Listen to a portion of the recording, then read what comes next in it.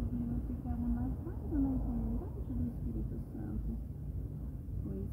a ele é confidenciada todas as coisas que,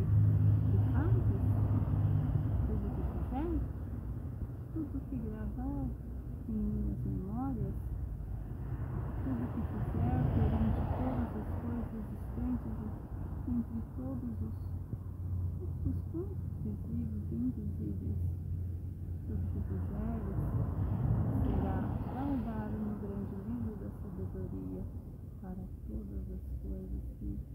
possam interagir perante o fazes, perante tudo que lhe aprover segundo as flores do jardim de Deus que iluminarem pela eternidade.